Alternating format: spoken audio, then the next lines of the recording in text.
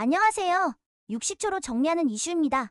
트바로티 가수 김호중이 더트로쇼 1위를 차지하였다는 소식이 전해지며 화제가 되고 있습니다.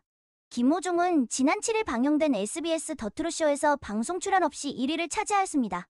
이하나우를 부른 김희재, 이정표를 부른 장윤정과 함께 1위 후보에 올라온 김호중은 응원 점수와 방송 점수, 실시간 투표 등을 합산한 총점 1만 537점을 획득한 애인이 되어줄게요로 1위를 차지하였습니다.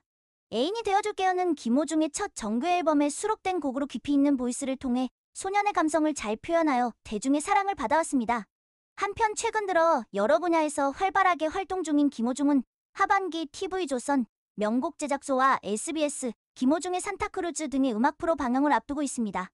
이상으로 트바로티 김호중의 SBS 더트롯쇼 1위 소식 전해드렸습니다. 더 자세한 내용은 고정 댓글, 링크를 통해 보실 수 있습니다. 구독과 좋아요 부탁드립니다. 감사합니다.